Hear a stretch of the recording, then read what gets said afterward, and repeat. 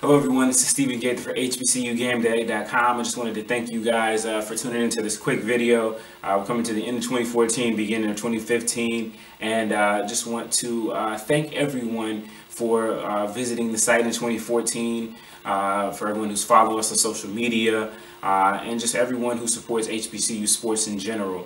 Um, this has been our best year yet. we're hoping in 2015 will be even better. Um, you know, just to to finish up really quick. Uh, we're going to go over some of the top posts and top stories from uh, 2015, 2014 as chosen by you guys. These are the ones that were the most clicked on for us. Um, so in early December, the rumor came out that the MEAC and the SWAC were planning to get together and do another bowl a la the Heritage uh, Bowl from the 90s. Um, Morgan State's AD says this is going to happen. He's the first MEAC person to actually come out and say this is going to happen. So uh, this will be an interesting development in 2015 to see how that works out. Uh, another story that we had that did really well was uh, North Carolina A&T's bus being towed after a loss to FAMU. Um, you know, the official word was that uh, you know it was scheduled for some some repairs, and so that's why uh, the bus was towed and the players flew back. Um, but that was a very interesting story that really flew off the shelves. Uh, and then another one uh, was the homecoming post. Uh, we basically went through and just compiled all the stats and made it kind of a database. Um, and uh, but surprisingly, it was very controversial because different teams count attendance different ways. And Tuskegee came out on top, but uh, North Carolina A&T and uh, Tennessee State had a lot to say about that. so we'll see next year. Maybe teams kind of switch that up, or you know how that works out. Um, also, UAPB had uh, over 100 ineligible athletes uh, back a couple years ago that participated in sports. So the NCAA came down hard on those guys. Um, and they're working to get that, you know, it looks like they've got those issues resolved, which is a good thing. Uh, then we also had the CIAA tournament. D. Todd, a former uh, former uh, AD at North Carolina A&T, basically uh, stated that if the CIAA wanted to keep the CIAA tournament about basketball that he needed to stay out of Charlotte.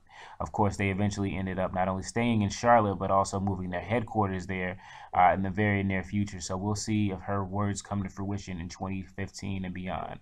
Uh, we also had a young man, Terrence Toussaint, um, who police say was killed while attempting to uh, invade a home. Uh, some people were saying he was set up. Um, it's just a sad situation overall. So, young man was a football player, um, very promising future, and uh, very sad into his life. Um, one of our biggest posts early in the year was FAMU came out with these uh, prototypes of uh, possible helmets, metallic helmets. And, uh, you know, we just took the picture and basically put it out to the world. And, um, you know, it kind of blew up everywhere. It ended up on Yahoo, on UniWatch, and, and a lot of different things like that. So that was a great post for us. FAMU never wore the helmets actually this year. But, hey, maybe if they had, maybe it would have helped them out a little bit. And last but not least, we have Shell of a Stadium. That uh, is Herndon Stadium in uh, in Atlanta, home of Morris Brown football, uh, which no longer exists. Um, you know, I just went and saw that in first person. It was very jarring, and uh, it really kind of made me think a lot. So, kind of touched me, and it looks like it touched a lot of people as well. So, I was very pleased with that. Um, 2015, we are um, looking to do more of that type of thing, more uh, original in-depth reporting. Uh, we're still going to bring you guys all the, the latest and greatest news, and, and, and we're going to, you know, do what we can to do it faster and better than everyone else. And, uh, you know, we're also hoping to go into the documentary realm. Uh, so, you know, with that said, you know, we, uh, you know, some of the funds that we gotten from you guys that our supporters have given us, uh, we went ahead and purchased a camera that does uh, HD video, which is what you're watching right now. So that's going to be a big help. Um, but yeah, we've got a document, at least one documentary plan. Hopefully, uh, you know, all goes well, we'll get a couple more done. Uh, more video, uh, more interactive things. So again, I thank everyone who supported HBCU Game Day uh, since the inception 2012, or if you just, you know, this is the first video that you're seeing. Um, you know, uh, this is uh, something I think is very important. I put my heart and soul into it, and uh, I hope you guys appreciate it. And uh, you know, I hope it becomes everything that you guys need.